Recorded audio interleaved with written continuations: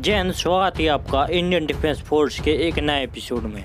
चीन से एक बहुत बड़ी अपडेट सामने निकल कर आ रही है तो आइए जानते हैं क्या है वह अपडेट चीन पूर्वी लद्दाख के सामने होटन एयरबेस पर Xian S twenty strategic stealth bomber का फाइनल ट्रायल कर रहा है, क्योंकि अमेरिका अफ़गानिस्तान से अपने सैनिक को हटा रहा है और भारत के साथ गतिरोध जारी है।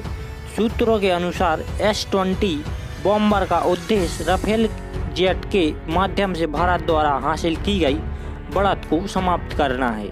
लंबी दूरी के स्ट्रेटेजिक स्टेल्थ बॉम्बर का फाइनल टेस्ट 8 जून को शुरू हुआ और 22 जून तक जारी रहेगा।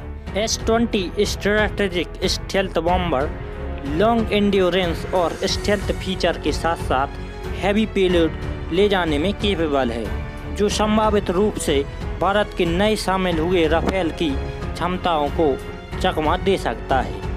चीन, जिसने एस ट्वेंटी बॉम्बर को गेम चेंजर के रूप में शामिल किया है, अमेरिका और रूस के बाद फाइटर एयरक्राफ्ट के लिए स्थल टेक्नोलॉजी रखने वाला चीन तीसरा देश है। इस कदम का क्षेत्र में जियोपॉलिटिक असर हो सकता है और भारत पर भी यह बुरा असर करने वाला है। इंडिया को चीन से मुकाबला करने और साउथ एशिया और इंडियन ओशन में अपनी प्रेजेंस बनाए रखने के लिए अब स्टेल्थ बॉम्बर का इंडिया के पास होना ज़रूरी है और इंडिया को अपने indigenous long range strategy bomber को विकसित करना अब और भी ज़रूरी हो गया है। क्योंकि चाइना लगातार इंडियन ओशन रीजन में अपनी प्रेजेंस को बना रहा है। इसलिए इंडिया को स्टेल्थ बॉम्बर डेवलप करना प्रायोरिटी बन जाता है।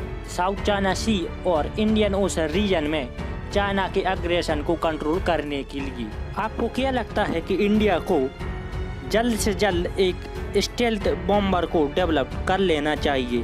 हाँ या नहीं कमेंट में ज़रूर बताएँ। इसी बात पर वीडियो को ख़त्म करते हैं। लाइक कीजिए सब्सक्राइब कीजिए। जय हिंद।